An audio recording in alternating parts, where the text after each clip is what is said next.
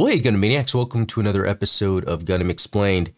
And this episode is going to be a little bit of a science lesson, but I'm not really too good of a teacher. But it's going to be about quantum mechanics, quantum physics, the science in Gundam, and how it relates specifically with the Minovsky particle. It's how mobile suits exist in the first place. Now, this is strictly for Universal Century, but there's some carryover depending on the science used in the other AUs. So yeah, that's right, the Minovsky particles. So you might hear sometimes, you know, hey, disperse the Minovsky particles. These are particles in the Gundam universe and Universal Century. They get dispersed out there and they interact with the electromagnetic spectrum, electromagnetic field, in fact, to make it hard to like communicate because it like blocks communication, uh, long range detection. That's why it makes sense to have some sort of like humanoid shaped giant robot floating around doing things in space, like for hand to hand combat. Okay, so Minovsky particles in the Gundam franchise, particularly in the Universal Century timeline, are a fictional construct designed to give a pseudo-scientific foundation to the series' technology and narrative. While they don't directly correspond to real-world quantum mechanics or conceptualization borrows ideas and terminology that echo quantum theory, blended with creative liberties to serve the story, let's break it down step by step to explore how they relate or don't relate to quantum mechanics. Okay, what are Minovsky particles? In the Gundam universe, Minovsky particles are subatomic particles discovered by the fictional scientist Trenov Y. Minovsky. They're produced as a byproduct of helium-3 and deuterium fusion reaction in the Minovsky-Ionesco reactor, a compact fusion power source that drives mobile suits and other advanced tech. These particles have unique properties. They carry either a positive or negative charge, interact with electromagnetic fields, and when dispersed, form a lattice-like structure called an I field, this I field disrupts radio waves, radar, and guided weaponry while enabling technologies like beam weapons and force fields. Okay, so get an understanding of what the Minovsky particle does. Let's get an understanding of quantum mechanics basics before we dive into how the Gundam uh, science can relate. Quantum mechanics is the branch of physics that describes how matter and energy behave at very small scales like atoms and subatomic particles. Key concepts include wave particle duality, Particles, electrons, photons exhibit particle-like and wave-like uh, properties. And, and that means, you know, like a particle, when we talk about a particle, that's like a physical little dot. We know where it is, how it is, when it is, why it is. But a wave is is not that actually. A wave is a distribution probability. It is the probability that something can exist somewhere. And that's kind of like how it's discussed, although I'm going to dive into my interpretation that's more of a way to help explain it. Uncertainty principle, you can't precisely know both a particle's position and momentum at the same time. So that's what I'm talking about there is where because it technically doesn't exist as a conscious point in time, its existence is more uh, based on what is around. So if you were like an electron, so electron's not really a little particle. If you were to go to try to find the electron um, in its field of distribution, uh, sure, you might, you know, find, oh, this has this many electrons, but really they exist in almost like a cloud at any time, any place. And, and we'll get into it a little bit, but kind of think where we have a lot of attributes of things like the color, the height, the weight, but have you ever thought about attributes like its time, its space, like its location? Think if you had an object, but it didn't have the attributes of time and space, then how would it exist? Well, it would exist everywhere all the time and nowhere, never. I know that's getting kind of weird, but just think of how, with these concepts, science engineers can derive potentially energy from an untapped source, and I'll get into that. Superposition and entanglement particles can exist in multiple states simultaneously or be linked across distances in ways that defy classical physics. And it's funny when it says can be linked across distances. The the, the misnomer here is across distances. Once it's hard to talk. Once we start thinking of attributes in that way, that's like a human construct. Just like time is something we're perceiving, distance is also something that's perceived based on the rest of the makeup of our body. Because in fact, what's going on is everything exists everywhere all at once. And I think that's a movie. Um, at the same time, it's just as a conscious being, I am seeing the attributes of time and space along with everything else my senses can pick up. So, really, if particles were interacting at a quantum level, that means it, if time and distance doesn't matter, then you can affect something like when it comes to, uh, I guess, energy, quantum computing, the idea is let's say you go to fill up your gas tank in your car. And then you're like, you know what? It's full, but I'm going to fill it up again. Well, you can't because it's full, but if you were using quantum mechanics, you could fill that gas tank up with twice the energy in a single space. Probability and wave functions. Particle behavior is governed by probabilities rather than certainties. And I feel like probability is also another thing when you hear that, you think, oh, it's by chance where it could be.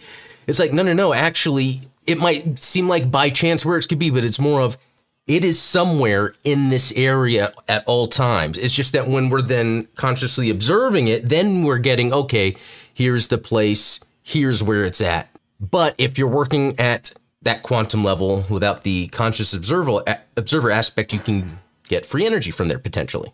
Okay, now to get into Minovsky particles and quantum mechanics. Let's see if they make sense in universal century.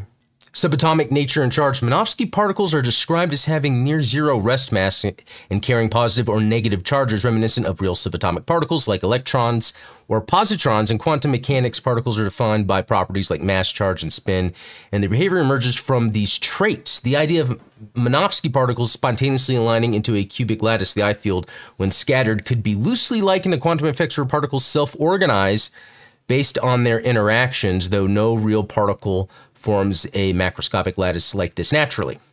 Yes, and, and it doesn't because what would be the framework for that? Well, there's been some tests done with crystals in the vacuum of space, and the idea is with a vacuum, you can then have, you know, particles form maybe whatever way you want using some sort of maybe uh, uh magnetism to align it uh, because uh, with with a vacuum, the lack of other mass to cause any issues, uh, yeah, you could move and bend light and whatever at will.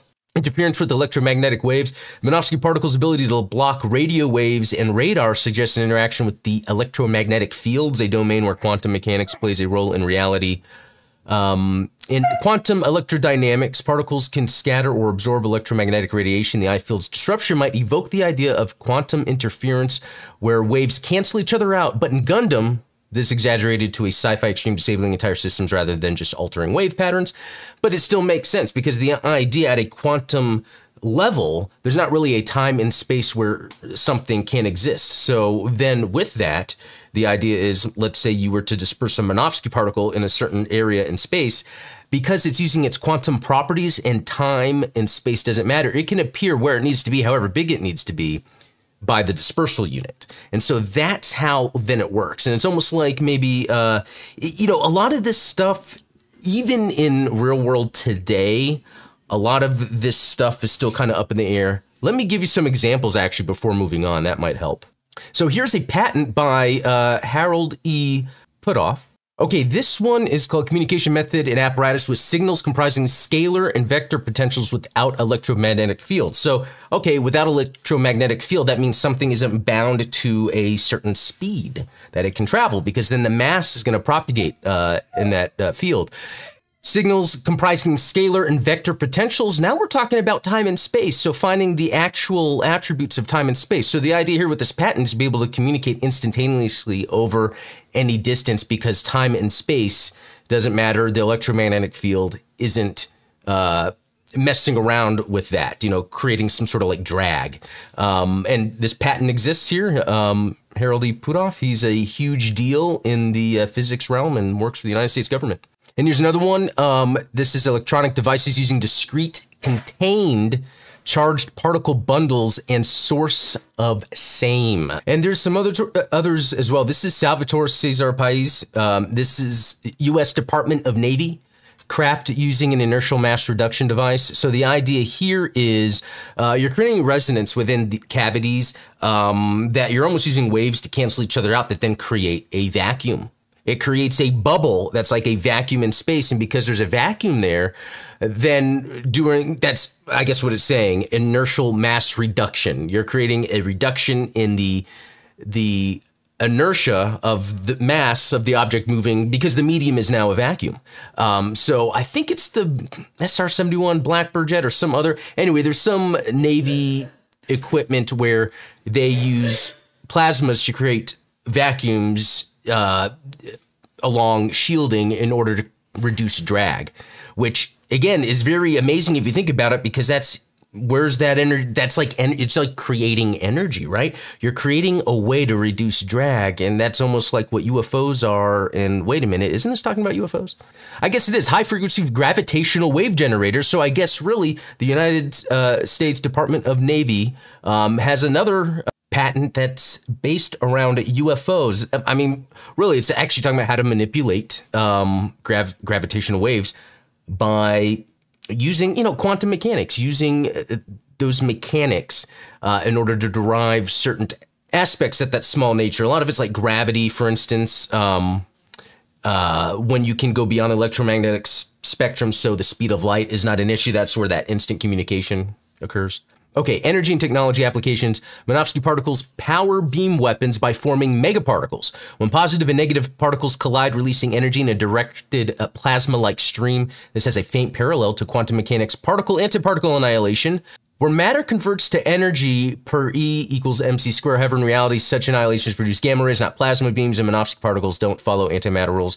They're just opposite charges of the same particle type. So that's interesting there, although I would say it's probably done a little differently um, with, let's say, with a um, beam, any type of beam weaponry. I'm assuming what it's doing is it's using maybe gases that are then uh, shot through a vacuum so that all the electrons, um, uh, like when a gas is in a vacuum, the electrons are going to go somewhere and they're going to try to um, uh, even out, uh, there's a term for that, and that they strip themselves away uh, from the particles and that creates a plasma. So you know, I, again, I think this stuff is very esoteric. There are some patents we see, and I'm just interested in this stuff, so I research it. But in terms of like, I guess when it comes to maybe academia or you know articles online, they're not privy to that level of detail just because a lot of this stuff is still being done behind closed doors. There's patents out there, but they're owned by like the government, for instance, and they're probably having private corporations work on them. So that's why we don't really hear about them. But I will say that the when when they talk about any sort of plasma weaponry in Gundam, they're basically using a device that is able to strip the electrons from gases, um, which creates that sort of phenomenon. In real life, this actually happens um, when in, in labs when they're trying to produce plasmas. Speculative leap from known physics the back uh, the backstory of Minovsky particles involves their discovery through an unexplained electromagnetic wave effect in the fusion reactor, which the Minovsky Physics Society later identified as a new particle. This mirrors how quantum mechanics emerged historically unexpected phenomenon like blackbody radiation and the photoelectric effect led to the discovery of quanta.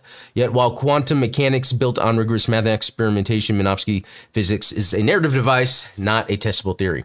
Which is true, but there's a lot of interesting stuff that it's it's calling out. Even here saying this mirrors how quantum mechanics emerged historically unexpected phenomena like blackbody radiation and the photoelectric effect. So back in the day, if you were to talk about anything like quantum mechanics, they think you're crazy. And it's like, well, how do we explain blackbody radiation and the photoelectric effect? And it's explained to a degree, but then when it gets messy, because I I challenge you, go research how storms are formed and create lightning, how magnets work. Um, I get the plasmas I was talking about that's used on the front of certain aircraft and static electricity. If you dive in super deep into how these things emerge into our reality, they are interacting at a quantum level for it to occur. So again, sparks, electricity, plasma, these are high energy and they're coming from a, a quantum event, a quantum quantum phenomenon. So it's very easy to think, well, wait a minute, if we can make those things happen at a small scale into a large scale, obviously human beings should be able to harness this stuff. And I believe you already have. I believe that's a lot of the UFO stuff, and I'm sure it, it would be impossible for me as just a normal person hanging out in life that makes YouTube videos and um, plays with action figures that I would know all of physics, right? There's more out there we don't know yet that the regular public doesn't know. Where they diverge, Minovsky particles stretch far beyond quantum mechanics into the realm of fiction. Well, let's see. Let me uh, see if uh, I can uh, add to that. Microscopic effects. Quantum mechanics typically governs the subatomic scale with effects fading at larger scales unless carefully engineered. Quantum computing. Oh, so it's saying it only happens at subatomic scale, but it can happen at larger scales. So it's saying that. It's interesting how this Uh, sentence is almost worded like it's conspiratorial or it's trying to hide the secrets from me. But really, it's I hate it sometimes when science states things like that. It's like this can't happen Although it's happened this time, when it's like you got to remember that. You got to remember that. Minovsky particles, however, have dramatic battlefield-wide impacts like jamming communications over kilometers, blah blah blah. And that's where I already said when we're working at the quantum level, the scalar potentials come into play where the time and distance actually doesn't even matter anymore. It's not even a metric that only exists based on our our perception, and it's more of an attribute for things that are like beyond, I guess, the electromagnetic spectrum that it, distance is a required attribute. I field lattice, the idea of charged particles forming a stable repulsive lattice in open space lacks a quantum analog. In reality, charged particles repel or attract based on Colombo's law. Colombo's law notes Coulomb's law.